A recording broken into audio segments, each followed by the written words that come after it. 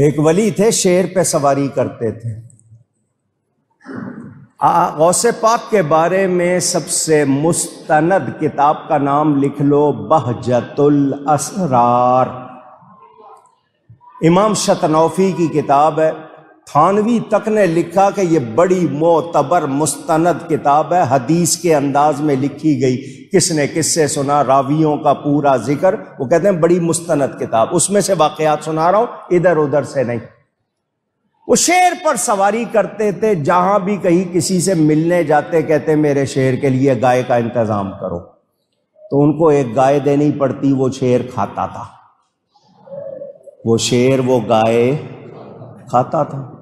वो गौसे पाक से मिलने आए, उनके बारे में बताया गया कि जी ये शेर पर सवारी करके आते हैं और कह रहे हैं कि जी मेरे शेर के लिए गाय गौस पाक ने फरमाया गाय दे दो। मुरीदों से फरमाया गाय गाय दे दी। ये अंदर आए, मिलने बाहर शेर खड़ा था, उसको गाय मिली तो वो आगे आगे चला गाय के, ले जाके कि मैं अपना खाना खाऊं। गौस पाक के दरवाजे पे एक कुत्ता बैठा था, वो पीछे चला गया। वो उसके पीछे चला गया। शेर जा रहा है, गाय जा रही है, पीछे पीछे कुत्ता जा रहा है।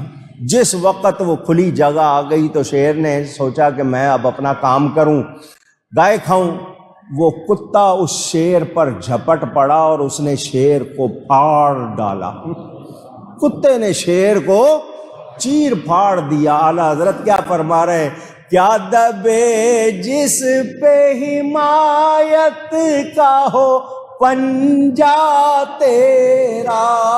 शेर को खतरे में लाता नहीं कुत्ता तेरा।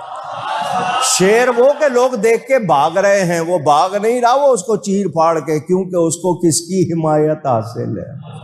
उन पीर साहब को पता चला कि ऐसा हुआ, उन्होंने गौस पाक से माफ़ी चाहिए आइंदा मैं ऐसा नहीं करूँगा, लोगों से गाय नहीं मांगूँगा, तौबा कराई तो आओ, गौस पाक ने उसके शेर को ज़िंदा कर दिया।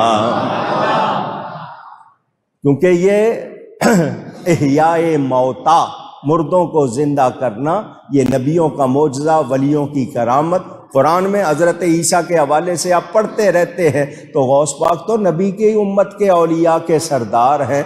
जब हज़रत सुलेमान का एक उम्मती इतना बड़ा तख्त इतनी दूर से ले आता है, जल्दी आँख झपकने से पहले तो वो हज़रत सुलेमान के उम्मती से नबी की उम्मती की शान ज़्यादा, हज़रत सुलेमान से मेरे नबी की शान ज़्यादा।